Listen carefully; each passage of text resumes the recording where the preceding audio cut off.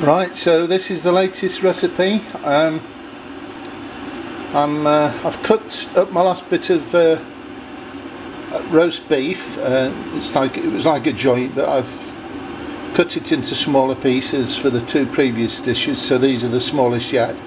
And the idea is basically cook, to cook it in a frying pan with onions, and then uh, I'm up.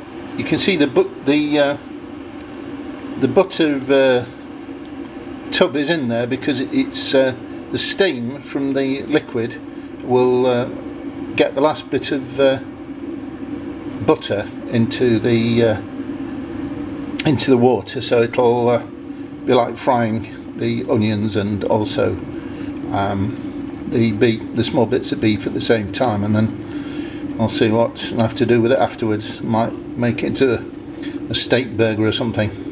Anyway thanks for watching. Bye